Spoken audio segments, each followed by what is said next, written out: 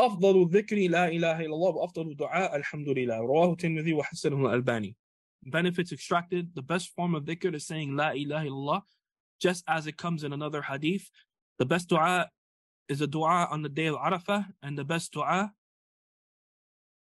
is what I and the prophets said before me La ilaha illallah without any partners يعني أفضل دعاء دعاء يوم عرفة وأفضل ما قلت أنا والنبيون من قبلي لا إله إلا الله وحده لا شريك له.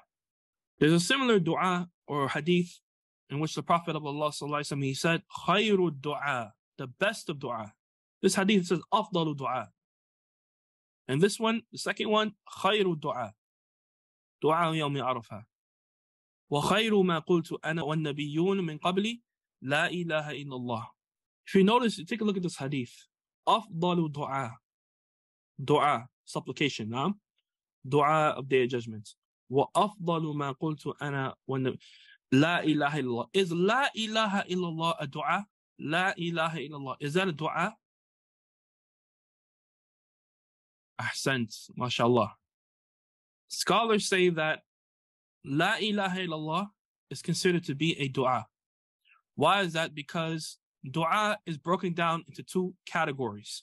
You have dua al-mas'ala and dua al-ibadah. Dua al-mas'ala, this is when you're explicitly asking Allah for something. This is a dua bi lisan al-maqal. For example, you say, Ya Rabbi, urzuqni, Ya Rabbi, afini, Ya Rabbi, aghnini, Ya Rabbi, ighfirli, when you're asking Allah to provide for you, oh Allah provide for me, oh Allah grant me well-being, oh Allah um, forgive me, Allah have mercy on me, you're explicitly asking Allah for something. This is dua al-mas'ala. And then dua, there's another form of dua, which is dua al-ibadah. This is yani, a dua bi lisan al-hal. When you perform an act of worship like salah, like reciting the Quran, like fasting, why are you performing these acts of worship, ikhwan akhawat? You're performing these acts of worship because you're asking and seeking Allah's mercy and bounty through your actions. I'm fasting so that Allah can forgive me. This is a form of dua. This is dua ul ibadah. طيب? And evidence for this can be found in the statement of Allah subhanahu wa ta'ala, إِذَا سَأَلَكَ عِبَادِي عَنِّي فَإِنِّي قَرِيبٌ if my servants ask you about me, then tell them I am near. Ujibu da'wata da'i idha da'an. I respond to the supplication of the one who supplicates when he invokes me. What did Allah subhanahu wa ta'ala say immediately after that? فَلْيَسْتَجِيبُوا لِي وَلْيُؤْمِنُوا بِي After saying that he responds to the dua of the one who calls upon him, he says, then let them respond to me and believe in me. Let them respond to me by, what does that mean? And believe in me. By performing that which I have commanded. Yani to perform ibadah, huh? dua al-ibadah. Let them respond to me by worshiping me, performing salah, and singling him out alone for worship. This is a dua. Wal yu'minu bi and have iman in me. And we know iman is statements, right? Bil qawli, wal amal, wal i'tiqad. Naam, these are actions.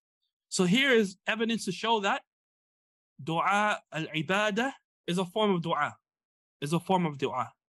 Also the statement of Allah, وَقَالَ رَبُّكُمُ دُعُونِي أَسْتَجِبْ لَكُمْ And your Lord says, call upon me and I will respond to you. إِنَّ الَّذِينَ يَسْتَكْبِرُونَ عَنِشْ عَنْ عِبَادَتِي سَيَدْخُلُونَ جَهَنَّمَ دَاخِلِينَ Certainly those who are arrogant and turn away from my worship. Subhanallah. Allah says, call upon me and I'll respond to you. Those who are too arrogant to worship me by performing salah, by calling upon him, these are actions. Naam. What will happen? They will enter Jahannam. Subhanallah. Disgrace. Dakhiri. Naam. So this shows that dua al-ibadah, when you perform acts of worship, this is a form of dua. You're asking Allah for his mercy, for his bounties, through your physical actions. So La ilaha illallah, although you're not explicitly asking for something, you are implying that you're asking Allah for his mercy through making that statement. It is a form of worship, seeking Allah's mercy seeking his closeness, seeking his bounties in this life and the next.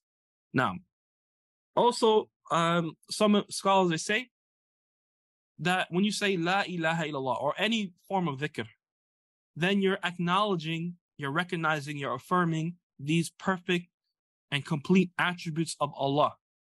And because Allah is perfect and He's complete and He owns everything in the heavens and earth, you're recognizing that, oh Allah, I'm in need of, of your bounty.